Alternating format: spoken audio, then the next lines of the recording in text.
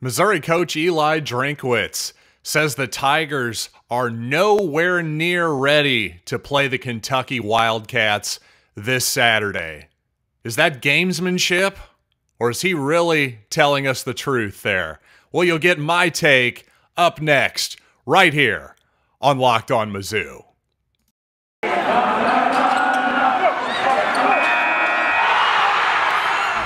You are Locked On Mizzou, your daily podcast on the Missouri Tigers, part of the Locked On Podcast Network.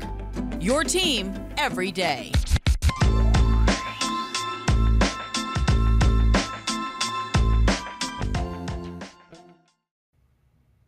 Well, hey, all you true sons and daughters, I'm John Miller, your Mizzou mafioso and the central scrutinizer of Missouri Tigers football and basketball five days a week here on the Locked On Podcast Network. Happy to see all you old faces and hopefully some new faces as well, possibly joining me on YouTube if you'd like to see what's happening behind the scenes. Check it out on YouTube. Just search for Locked On Mizzou.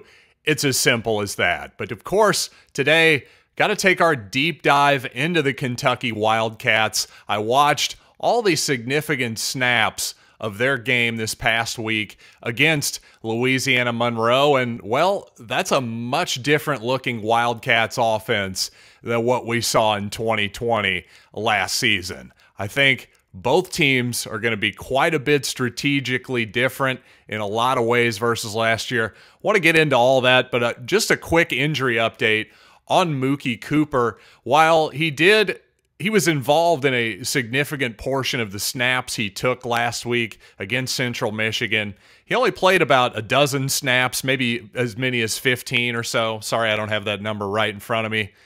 He touched the ball on a few of them, mostly on jet sweeps but not a lot of action there, not a lot of production. Maybe some of that a little bit worried about what he's now calling, admitting, I should say, is a foot injury. I had previously assumed that maybe it was an ankle injury, certainly not soft tissue, but honestly, long term, I'm much more concerned about any type of foot injury, no matter what it is, versus an ankle. An ankle's more predictable.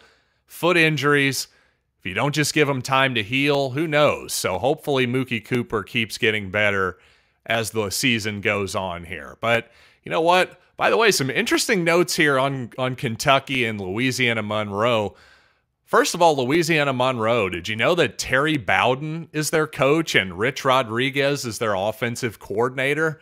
Well, part of that reason might be Rhett Rodriguez, the quarterback starting for Louisiana Monroe Rich Rod's son. Would you want your dad to be your offensive coordinator?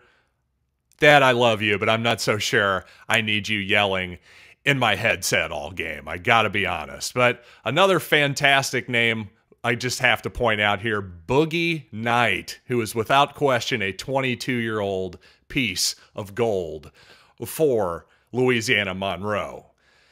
But you know what? Let's get to the game. And to me, the biggest key in this football game, Eli Drinkwitz has talked a lot about how if Missouri is going to win big in the SEC, well, they're going to have to win at the line of scrimmage. No truer game could that be more true than for this Saturday against Kentucky. Because really, number one, you look at that Kentucky offense this Saturday, it's a completely different looking group. Number one, they've got Will Levis, a transfer from Penn State at quarterback. Well, obviously, the last couple seasons, as I've discussed here before, there was a lot of just direct snaps, wildcats, and shotgun based running from Kentucky the past few seasons. Well, against Louisiana Monroe, you actually saw what looked like a bit like an Eli Drinkwitz offense.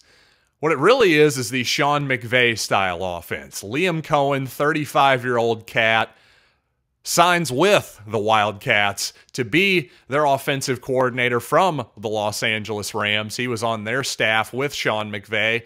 And you see that Kentucky is going to be under center a lot more. They're going to be huddling on virtually every possession, just a much more NFL style offense and a lot of stuff that Eli Drinkwitz likes to use as well. play action passes, some jet motion. Re- again, not unlike what Eli likes to do whatsoever. But by the way, just in terms of, of the huddle, I thought Matt Stinchcomb on the broadcast brought up an interesting point. He says, you know what? When you run hurry up, actually, you give the defense a longer look at your formation. And while that's certainly an interesting point, at the same time, the offense gets a longer look to see how the defense lines up too. So obviously, football, such a cat and mouse game, such a give and take. Certainly, Missouri does a lot of no huddle, but it works for them. We all think Eli's a smart guy and everything. Well, Andy Reid tends to huddle on virtually every snap. So it's just personal preference. What do you like to do? And for me, I think there are times to huddle, times to go no huddle, mix it up, use all of those possible situations to your advantage. But to me, one of the biggest questions, once again, it's up front. How does Missouri do getting pressure on Kentucky? Because Liam Coen got most of his yards in that football game on play action passes deep down the field to Wan'Dale Robinson, the transfer receiver from Nebraska, and also Josh Ali, who we're familiar with if you remember him from last season. I got to say, but once you actually get Levis under pressure, well, like almost any quarterback, like Connor Bazelak, frankly, too, and 99% of other quarterbacks who have ever lived, you get pressure on them, they're a lot less efficient. Well, in week one, Missouri actually generated the most pressures in college football with 45. And for some context, Auburn was second, just two behind Missouri with 43. But all but three, it was all the way down to 35. So Missouri actually had 10 more pressures than the third best team in college football in week one. The question is, will they be able to do that against Kentucky and their seemingly stalwart and veteran offensive line. Well, I have some more thoughts about that. But first, I want to tell you about our spot, our title sponsor, and that is RockAuto.com. And frankly, why would you waste money if you're if you're a do-it-yourselfer? Why would you waste money on auto parts? Going to the dealership, maybe you buy stuff from them, the auto chain store, whatever it might be, whatever your move is. I got a better move. It's called Rock Auto com. No reason to spend 30%, 50% more for the exact same parts. And why waste time either? This is what the web is great for, and this is where rockauto.com comes in. Makes it easy to find exactly what you're looking for your make, your model. Again, find your interior carpet, your motor oil, whatever you might need. But when you go to rockauto.com, just make sure you write locked on in their How Did You Hear About Us box so they know we sent you. Amazing selection, reliably, low prices, all the parts your car will ever need. RockAuto.com. So clearly, if Missouri gets pressure using only its front four, well, that's ideal, right? To, to state the obvious. And frankly, Kentucky at least against a bad opponent like Louisiana Monroe, it sure looked like they were able to get pressure using just their front four. Especially, there were three different occasions where Louisiana Monroe had a third and long situation. They went with empty formation. And the Wildcats, well, they got after the quarterback in a big way on all three situations. Now, certainly Missouri's offensive line should be better than the Warhawks, but my goodness, that was that was frightening. He was you were hoping that with what with Jamin Davis off to the NFL, maybe the pass rush isn't quite what it was last year. Looked pretty good at least again, at least against a subpar opponent. But if you're Missouri, you proved last week that you can generate pressure with your linebackers, with your occasional corner blitz safety, that kind of thing. The only question is if it doesn't get home, do you have enough on the back end? Because, again, Wan'Dale Moore, transfer from Nebraska, formerly from the state of Kentucky, looks like a keeper for sure. He's an explosive player. But at the same time, there was a little bit of sloppiness, not only for Moore, especially in the punt return game, where he muffed one punt, had a really questionable decision to field a bounced ball in traffic. That coupled with some procedural errors by Kentucky, a snap over Levis's head, makes me think that going into this game, Missouri might have an advantage in terms of being the better prepared, more clean offensive team. Because while certainly this scheme I think will be be more efficient for Kentucky, I think it could lead to maybe some more turnovers than they've had in the past, maybe some more penalties, especially on the procedural side than they've had in the past, simply because everything once again is just so new uh, for Kentucky. But again, you look at this Will, Le- Will Levis, let's talk about him a little more. The transfer from Penn State. The kid was mostly, he only made two starts for the Nittany Lions. And in that offense, he was mostly used like the Tigers used James Franklin as a true freshman back in the day, if you can remember that far back to 2010. You whippersnappers, maybe not. So let me remind you James Franklin was basically used as not only the backup quarterback, but he would be brought in in special situations to run a wildcat play, mostly in short yardage and goal line red zone type situations. Well, this is much how Penn State used well Will Levis. But of course, in the Louisiana Monroe game, if you watched along with me, they almost never used Levis as a runner. One time he scrambled outside of the pocket for a seven or eight yard gain, but there were no design runs from Levis there. I think obviously part of that was to not show Missouri or anybody else anything in that, any wrinkles to that run game that they haven't shown before. But I think also Levis wants to prove that he can throw. There's no doubt about that. That's the reason he came to Kentucky. He wanted to be in a pro style offense, he wanted to throw the football. Well, I think he did a pretty good job, obviously, in week one the numbers popped. But again, if Missouri can just get a little pressure, especially on the backside on some of those play action passes, maybe early in the football game, I think we can get him out of his comfort zone. Because again, like 99% of quarterbacks, you get them a little bit uncomfortable in the pocket, suddenly they're much less effective. Now, the problem is, Kentucky has a really good run game, too. Chris Rodriguez, an excellent back. And by the way, one thing I noticed in the past, the recent pass, Kentucky almost never threw to those running backs. Chris Rodriguez was a pure runner. Well, he got three or four shots in the passing game, one time notably in the red zone, a play that looked effective to me. So Missouri cannot really take last year's scouting report and put a lot into it. Just take everything you saw last year with a grain of salt because this is a completely different offense. You're probably better off really just watching Missouri's own scout team running Missouri's offense because that's closer to what you you'll see this coming Saturday than what you saw from the Wildcats at Faurot this last season.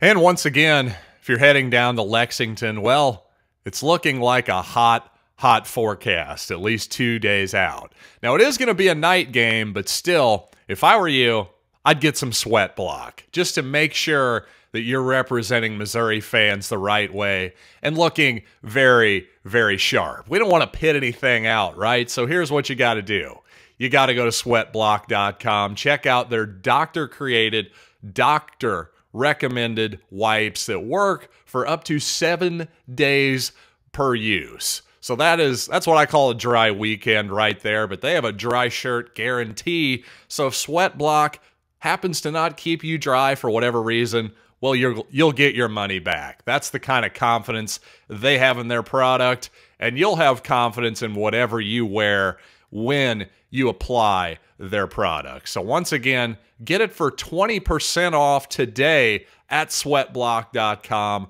with the promo code locked on. Oh, by the way, you can get it at Amazon or CVS as well. And speaking of sponsors, of course, we got to talk some betonline.ag, where, as always, they're your number one spot for everything pro and college football wagering, including the online Line's biggest half million dollar NFL mega contest, Planet Earth's $200,000 NFL Survivor contest, open now at Bet Online.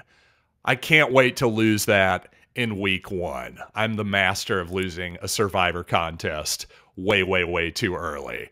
But if you are smarter than me, just go to Bet Online buy in and hey, welcome bonus, 100% welcome bonus on top of whatever you get when you use the promo code locked on. Again, that's promo code locked on for your 100% welcome bonus at Bet Online, your online sportsbook experts. Now, while the Kentucky offense is going to look completely different from last season, well, defensively, they're going to look almost exactly the same, at least based on what I saw against the Warhawks. And why not, right? The Kentucky defense was really, really effective last year. So here's what you're going to see you're going to see a front four that is basically going to bring all the pressure in the passing game. Their linebackers tend to stay at home.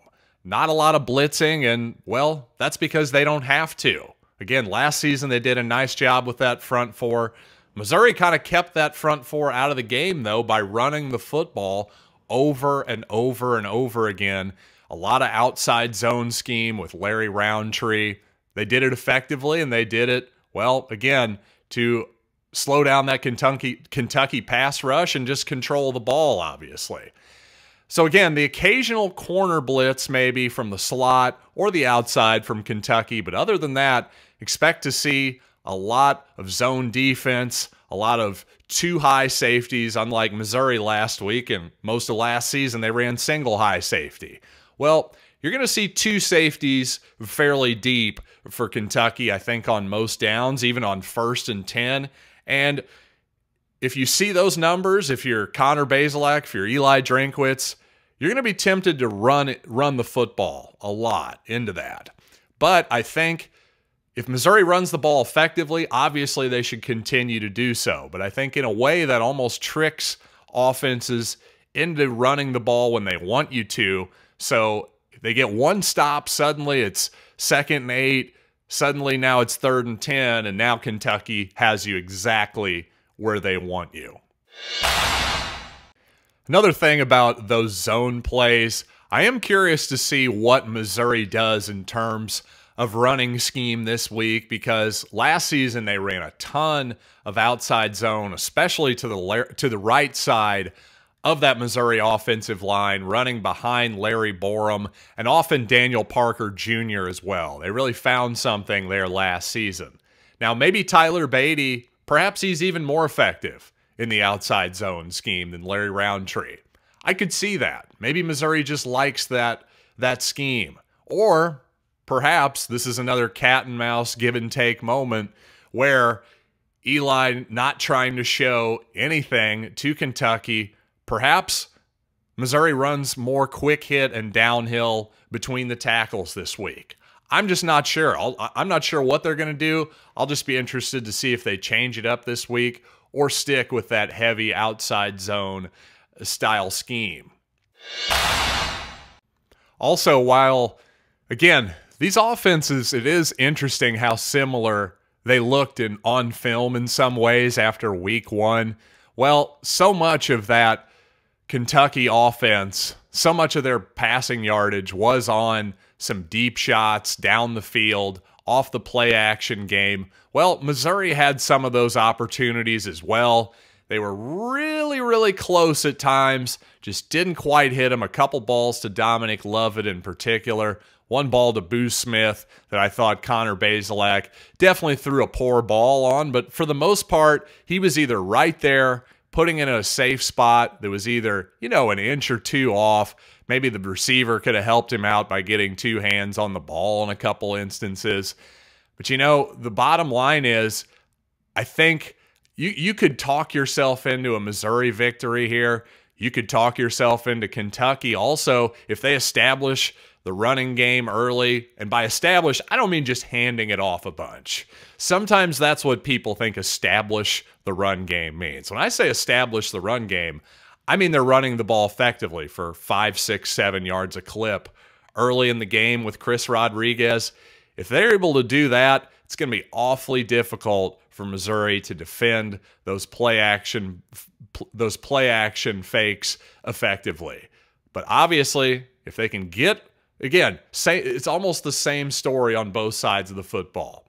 If we get into third and tens, we're going to be in trouble offensively. If we get Kentucky into third and tens, well, we're probably going to win the game more than likely. The other, to me, that's the biggest difference. In the ball game will be decided up front. Whoever wins the game up front will probably win. That's just all there is to it because schematically there's not a lot of huge differences in this team and and talent-wise I think we're fairly equal as well. Just between, you know, obviously I think Kentucky has a better offensive line, a better defensive line on paper. They have more experienced receivers. But frankly at this point, I'll take our quarterback. I'll probably take our defensive backs again, I'll take I'll definitely take Missouri special teams over Kentucky special teams. I think Missouri might have one of the best special teams units in the country right now.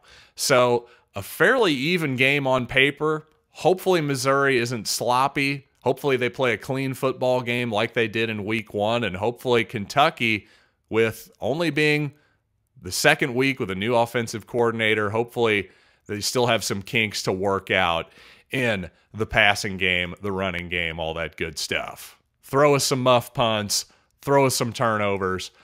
We will certainly take it. And you know what? I'll be back with all of you tomorrow right here on Locked on Mizzou. I'll have my official prediction for the game and also, well, the reaction to the uniforms in a segment I like to call Project Run Play. And of course, check out my friends over at Locked On Bets your boy Q, Lee Sterling, a daily five day a week show about the betting market.